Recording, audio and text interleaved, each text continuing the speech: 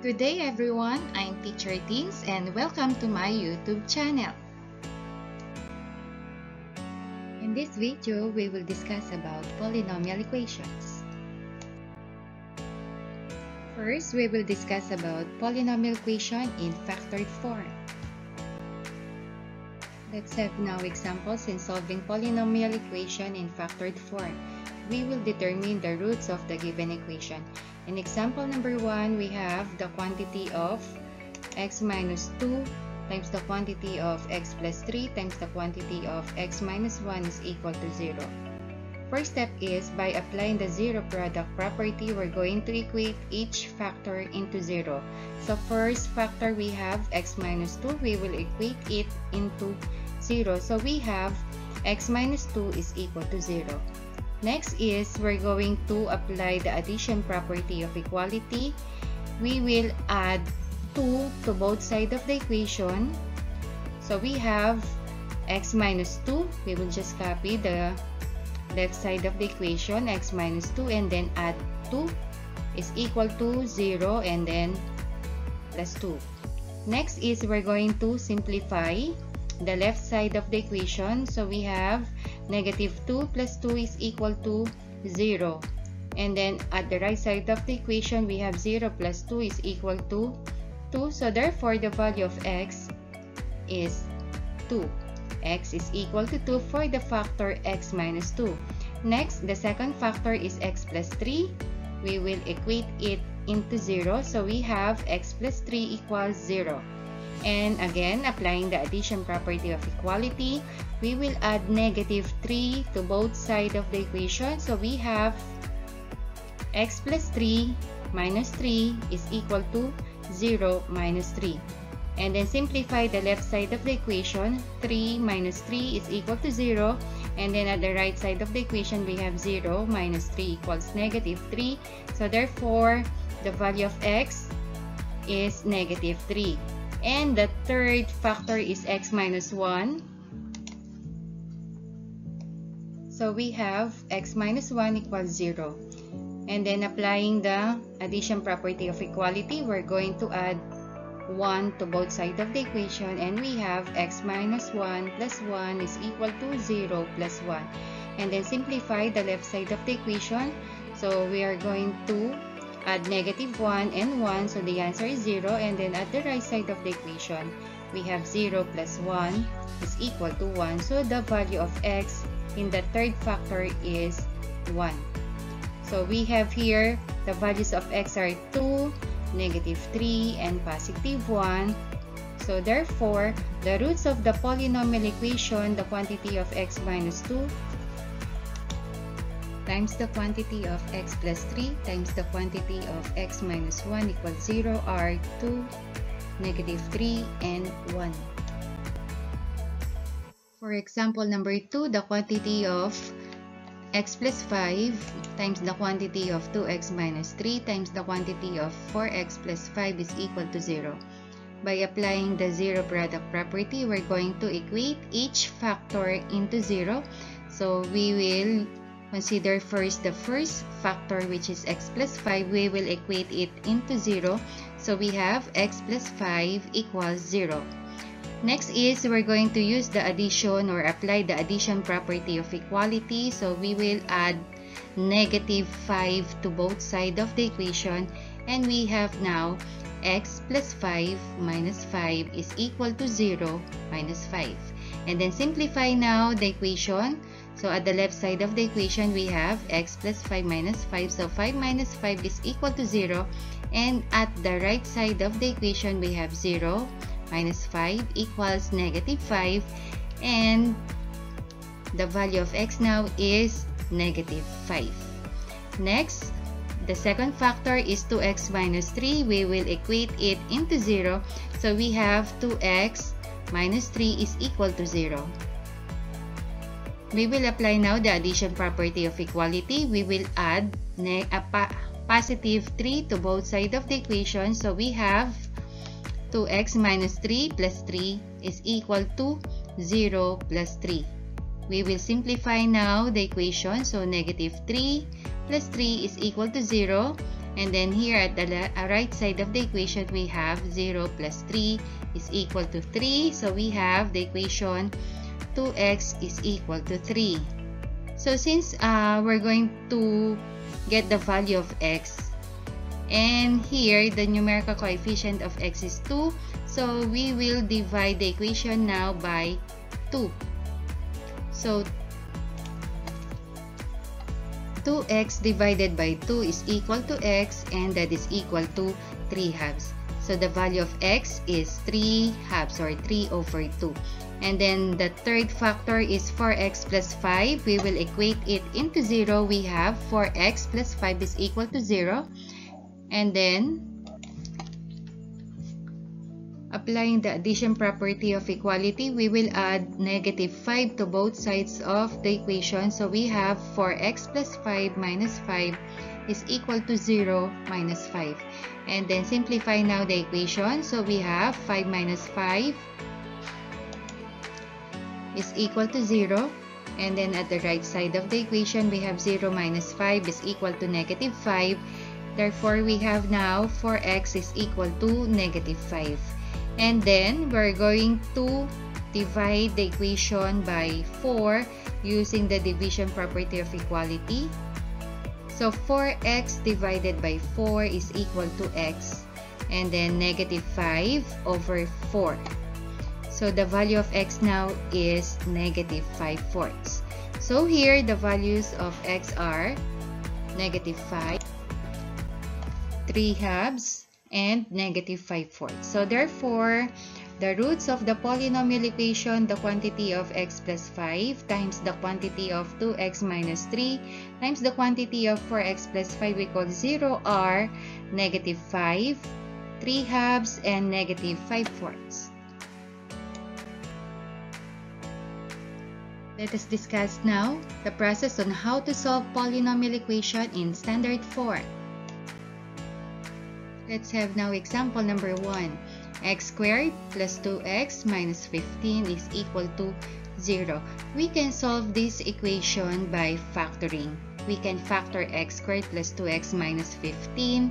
So the factors are x minus 3 times the quantity of x plus 5 equals 0.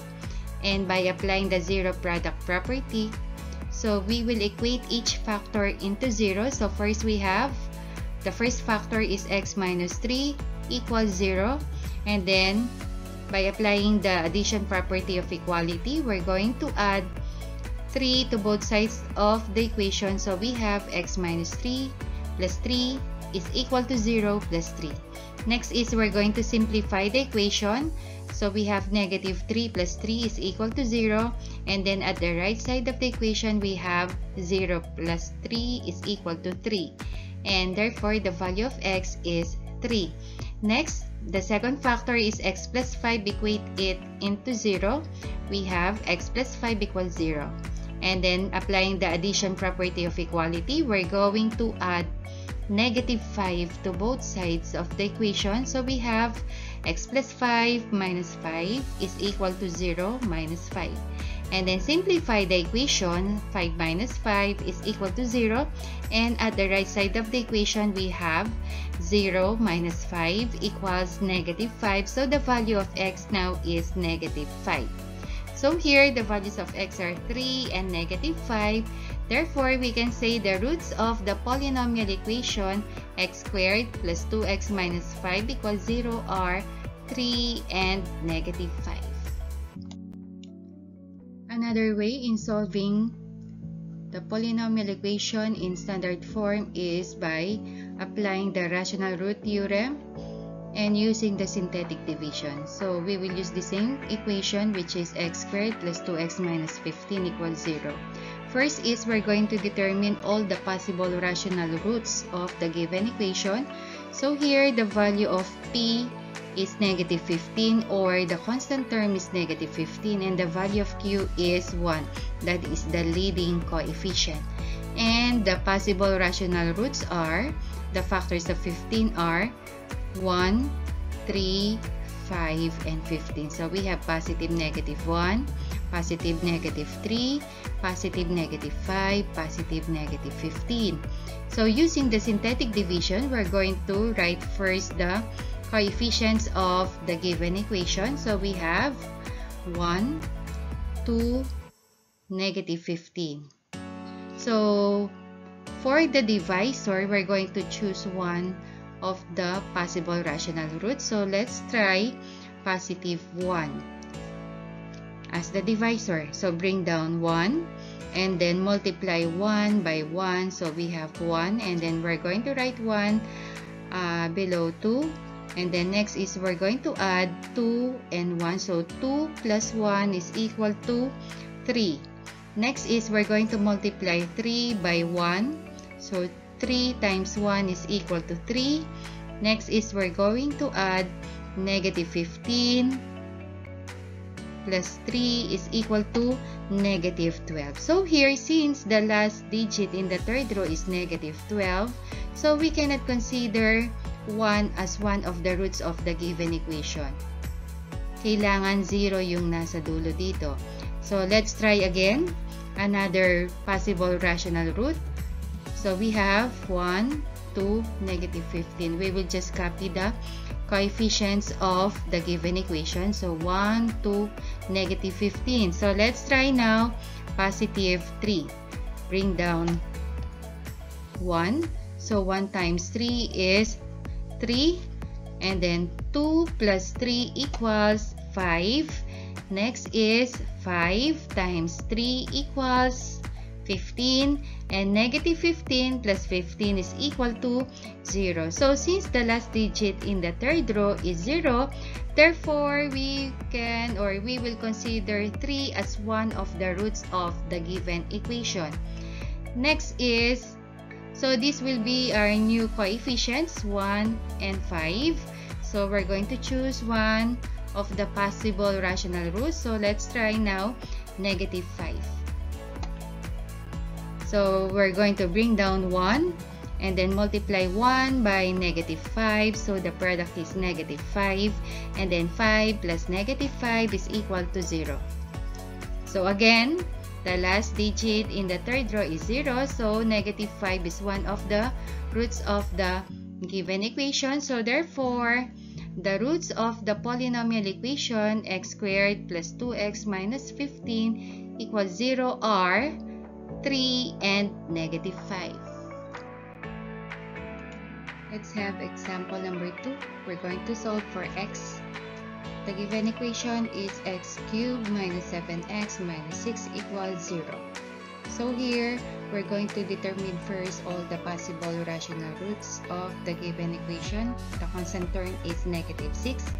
The value of a is negative 6 and the value of q is 1 that is the leading coefficient. So therefore the possible rational roots are positive negative 1 positive negative 2 positive negative 3 positive negative 6 and then we're going to use now the synthetic division and the coefficients of the given equations are or the given equation are 1 that is 4x cubed and then 0 for x squared. As you can see, the missing term here is x squared.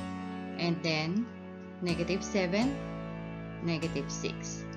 And then the divisor. So let's try negative 1 for the possible rational roots. So bring down 1 and then 1 times negative 1 is equal to negative 1 and then 0 plus negative 1 equals negative 1 negative 1 times negative 1 equals positive 1. Negative 7 times plus 1 or negative 7 plus 1 is equal to negative 6 and negative 6 times negative 1 equals positive 6 negative 6 plus 6 equals 0 so since the last digit in the third row is 0 therefore we will consider negative 1 as one of the roots of the given equation. Next is, uh, this will be the new coefficients now. So we have 1, negative 1, negative 6. So let's try now negative 2. So bring down 1 times negative 2 equals negative 2. Negative 1 plus negative 2 equals negative 3. Negative 3 times negative 2 equals positive 6. Negative 6 plus 6 equals 0. So the last digit here is 0. Therefore, negative 2 is also one of the roots of the given equation. So let's try now positive 3. So bring down 1. 1 times 3 equals 3. Negative 3 plus 3 equals 0. So these will be now the values of x. Negative 1, negative 2, and 3. So the roots of the polynomial equation x cubed minus 7x minus 6 equals 0 are negative 1, negative 2, and 3. For example number 3, we have 3x cubed plus 4x squared minus 5x minus 2 equals 0. We're going to solve for the values of x. First is we're going to determine all the possible rational roots of the given equation. So the constant term is negative 2 and the leading coefficient is 3. So therefore, the possible rational roots of the given equation are positive negative 1, positive negative 2, positive negative 1 third, and positive negative 2 thirds. Next, for the synthetic division, we have the coefficients are 3, 4, negative 5, and negative 2. So, let's try now. Positive 1. So, nandito yon Positive 1. So, bring down 3. 3 times 1 equals 3. And then 4 plus 3 equals 7. 7 times 1 is 7. Negative 5 plus 7 equals 2. 2 times 1 equals 2 negative 2 plus 2 equals 0. So last digit here is 0. So therefore 1 is one of the roots of the given equation. Next, we have, so this will be now the new coefficients. We have 3, 7, 2. And let's try now negative 2. So bring down 3. 3 times negative 2 equals negative 6. 7 plus negative 6 equals 1. 1 times negative 2 equals negative 2. 2 plus negative 2 equals 0. So, the last digit is 0. Therefore, negative 2 is one of the roots of the given equation. And let's try now negative 1 third. So, bring down 3. 3 times negative 1 third equals negative 1. 1 plus negative 1 equals 0. So here we have the values of x are 1, negative 2, and negative 1 third. So therefore, the roots of the polynomial equation 3x cubed plus 4x squared minus 5x minus 2 equals 0 are 1, negative 2, and negative 1 third. Thank you for watching! Please don't forget to like, share, and subscribe.